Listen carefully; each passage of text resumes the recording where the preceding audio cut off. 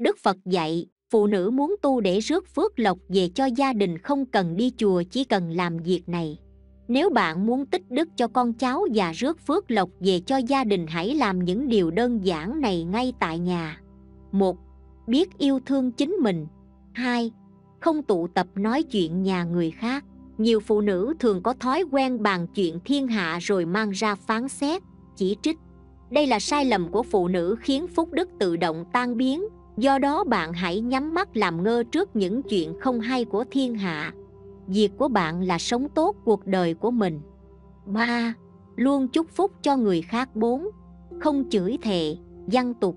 Người đàn bà khôn ngoan luôn nói năng nhẹ nhàng, cho dù giận đến mấy họ cũng sẽ không bao giờ văn tục.